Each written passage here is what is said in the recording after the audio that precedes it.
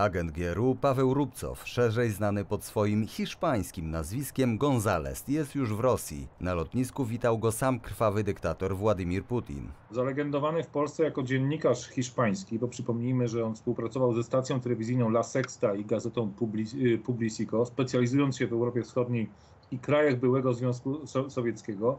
Te, tenże Rubcow no, miał kontakty przynajmniej z częścią polskiego środowiska e, politycznego, opiniotwórczego. Tematy, którymi Rubcow jako Pablo González zajmował się w Polsce, były zbieżne ze sprawami, które podnosiła wówczas opozycja spod znaku ośmiu gwiazdek i które opisywały ówczesne opozycyjne media. Jego aktywność dziennikarska w sensie merytorycznym nie miała żadnego znaczenia, aczkolwiek zdawaliśmy sobie sprawę, że jest to znakomite przykrycie dla szpiega, które bezwzględnie wykorzystywał. W 2021 roku w trakcie ataku na polską granicę Rubcow powtarzał narrację o grupie osób w mundurach Wojska Polskiego, która zaatakowała trzech fotoreporterów. Dlatego nie dziwi, że kiedy ABW w lutym 2022 roku zatrzymała Rubcowa, media wspierające ówczesną opozycję podniosły krzyk. Wśród tych, którzy stanęli w obronie hiszpańskiego dziennikarza, zwraca uwagę Piotr Niemczyk, były funkcjonariusz UOP i były ekspert Adama Bodnara.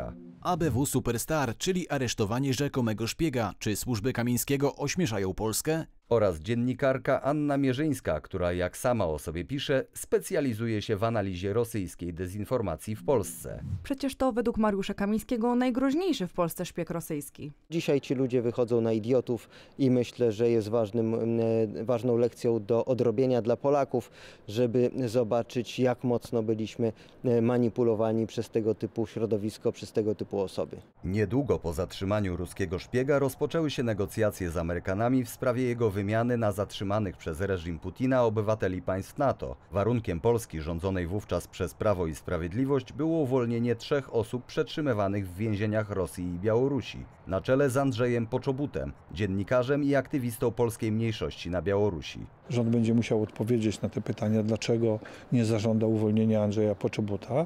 To był najważniejszy argument, który e, mieliśmy w ręku. Być może ten szczegół umknął obecnie rządzącym w Polsce lub rząd Tuska nie był w stanie wywalczyć wolności dla polskich więźniów.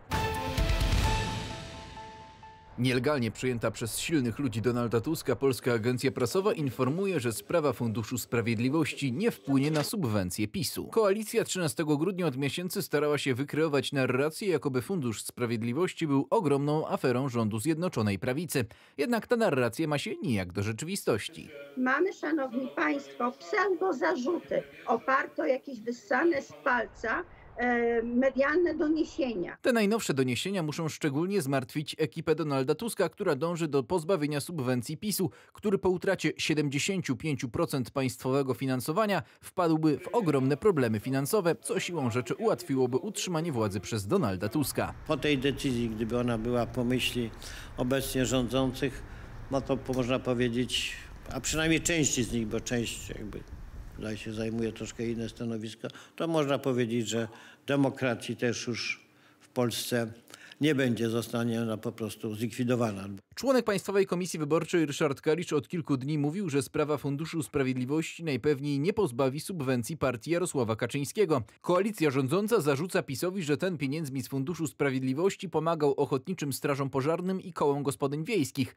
Politycy Zjednoczonej Prawicy odpowiadają krótko, pomoc wyborcom jest obowiązkiem posła. Działacz Platformy Obywatelskiej próbuje mi zarzucać, że ja w ten sposób prowadzę kampanię wyborczą. No bardzo przepraszam, ja robię to od 20 lat w moim przypadku jako posła. Wszystko wskazuje na to, że ogień wokół Funduszu Sprawiedliwości powoli dogasa. Pytanie, jakie następne demokratyczne sposoby do walki z opozycją znajdzie Donald Tusk.